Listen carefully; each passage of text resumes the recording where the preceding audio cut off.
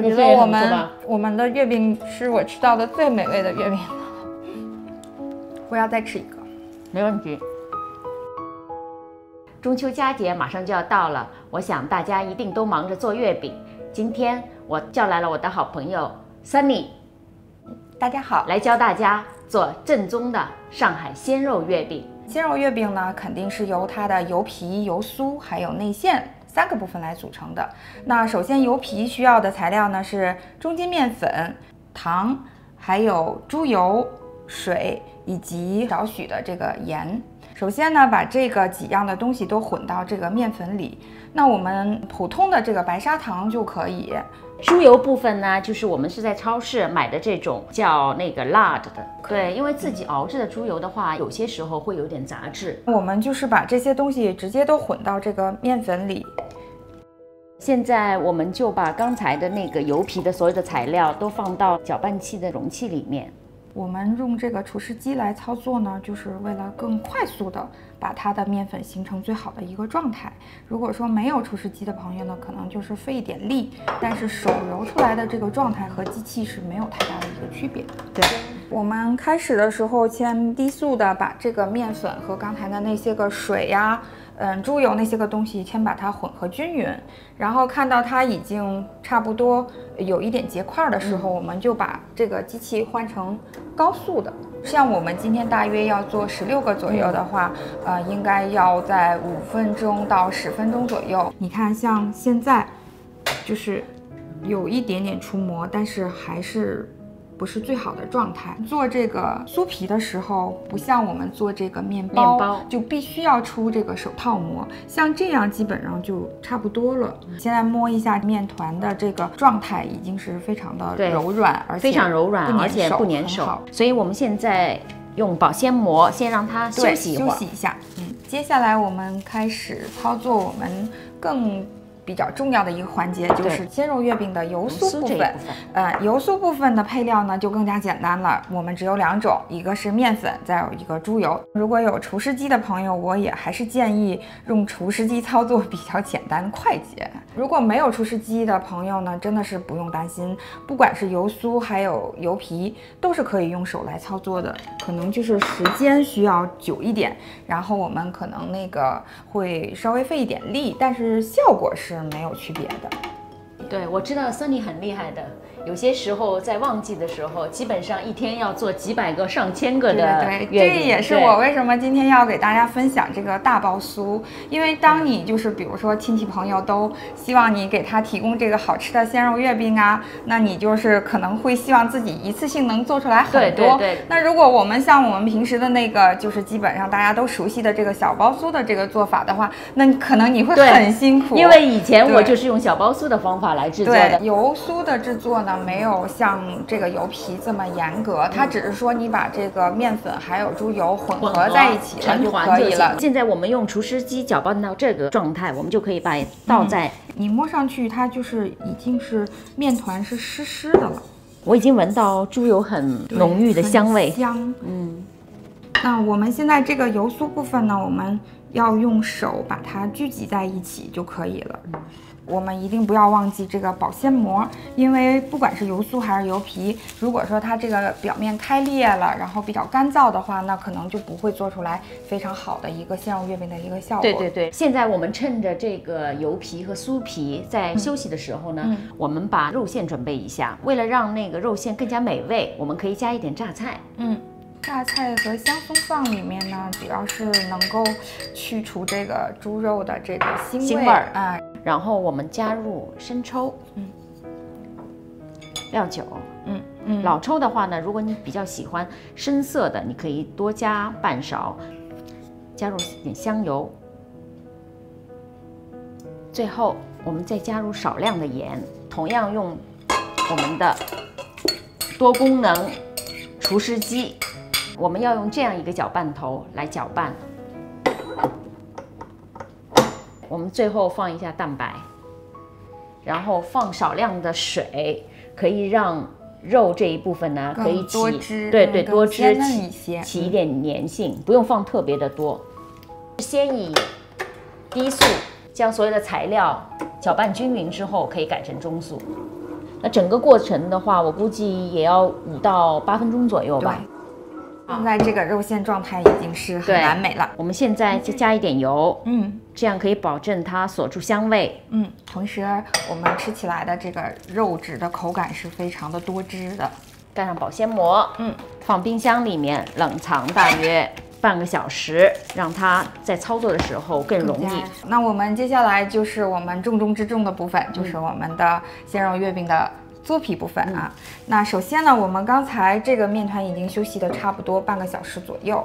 Lisa，你看现在它的这个组织啊，各方面哇，非常细。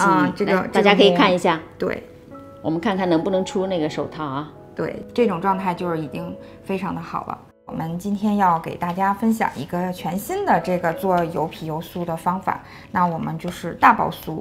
那首先呢，我们把这个面团分成两份。虽然是大包酥呢，但是我们也不能把太大的面团和太大的油酥这样混合到一起，那样效果也是不好的。所以像我们今天的这个面粉的这个量呢，那我们就把它油皮分成两份，然后油酥呢分成两份，这样进行这个混合。嗯，这个撒一点干粉，它基本上是不粘手的。这是我们的油皮部分，把它擀平，然后油酥部分。把它放到这里面，像我们包包子一样，随便的把它给捏合在一起。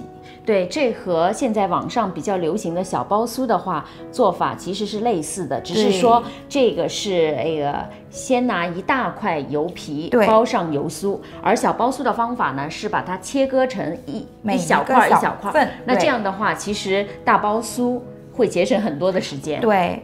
然后我们实际上最后就是吃起来，一会儿我们可以给大家看一下它的这个口感效果是完全没有问题的。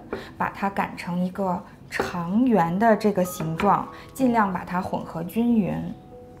然后我们依次从中间分三折，这样进行对折，基本上这个就能起差不多九层的油酥和油皮。我们把它擀成一个大概长方形的这种。状态。对，然后我们接下来就是这样把它卷起来，它这样的状态实际上就已经进行了又再次的这个分层，嗯。嗯，把它一定要裹好，同样也是让它在这里面进行一下休息，差不多十五分钟到二十分钟吧。哦，我们在卷的时候一定要留意，刚才三折的那一部分应该是两头是在这边的，对，就是和它是一个方向的去对，一个一个方向的。你不要这样卷了，你又把它反过来这样卷，那样最后混酥的那个效果就会比较乱的层次。把它卷紧就可以。对，一定要卷紧。嗯，因为你这样卷的这个过程，它也是在这个面粉起层的这个过程。我已经感觉我们离成功又近了一步。趁面团在休息的时间呢，我们把肉馅呢分成。十六份，因为我们今天我们准备做十六个，那每一个差不多是三十克左右。克左右，嗯，搓圆了放在盘里面。对。好，我们现在这个面团已经休息的差不多了，时间，我们现在就开始，嗯，包我们的鲜肉月饼了。这个我们就不去这样一一的去计量它了，然后这个我们就大概把它分成八个等份，嗯，嗯，这个就是把两边这个。这个地方进行收口，收口，对，然后把它集中在这个中间，你看它就把这个最光滑的这一面，用我们那个手的虎口的位置，对对对，对，然后把它收一下，然后往中间一挤，对。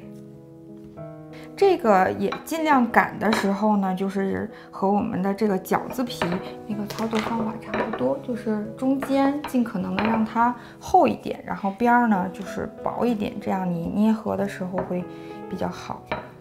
嗯，因为皮还是比较软的，所以就比较容易包。就是把它收口，嗯，就是我们不要用像包包子一样。这个把它捏起来，我们要用这个虎口收口的这个方法。对，用包包子的方法，因为是底部就会比较，就会很厚。嗯，对，用虎口包的话就会比较均匀。这个多余的面团我们可以把它拆下来。嗯，那这样一个鲜肉月饼就制作完毕了。然后我们把它压一压平。嗯，啊，一会儿我们就可以品尝我们美味的鲜肉月饼了。那我们现在呢，已经制作了九个了，放在这个烤盘带着烘焙纸的烤盘上面。然后我现在已经把烤箱预热到一百八十度。嗯，那为了我们的这个鲜肉月饼成品出来更漂亮、更正宗，对，更有食欲，看着。那我们现在给它进行一个美化啊，我们先用这样的这个食用色素，食用色素，嗯，红色的，然后给它上面装饰一下鲜肉。嗯，我们把它浇上去。哇哇，好漂亮，很有领导的感觉。好，我们现在就把它送入这个烤箱内，嗯，然后二十五分钟左右，大概我们看一下它的状态，如果没有问题，我们就可以品尝到我们美味的鲜肉月饼了。出炉啦！我们的鲜肉月饼非常的鼓鼓的，非常的漂亮。烤箱这个呢，要根据那个个家庭的对烤箱的情况，然后来调整它的温度和它的时间。见证我们这个成果，鲜肉月饼正不正宗，好不好吃的时刻到了。哇，酥皮非常的酥，我切的时候已经感觉到了。你看起酥起的非常好。这个分层的这个酥就是效果已经很好了，那我们也看到了这个大包酥的效果也是非常完美的。嗯，尝一下，我们来尝一下味道。嗯，哇，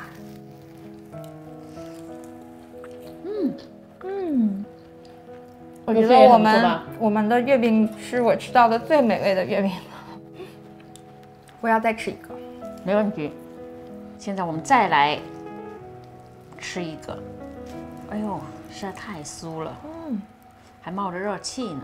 你看看，很酥，非常的酥，嗯，感觉上也不油腻，嗯，这个肉质也是非常好。然后酥皮虽然是大包酥，但是我们的这个分层已经做的非常的完美了，嗯。